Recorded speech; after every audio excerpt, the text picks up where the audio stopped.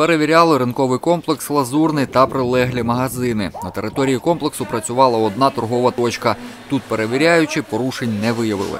Така ж ситуація і у магазинах неподалік. Продавці в масках всередину пускають по одній-дві людині. Продавцям роздавали інформаційні матеріали та пам'ятки. Такі рейди зараз проводять щодня на різних локаціях. Адмінпротоколи мають право складати правоохоронні органи.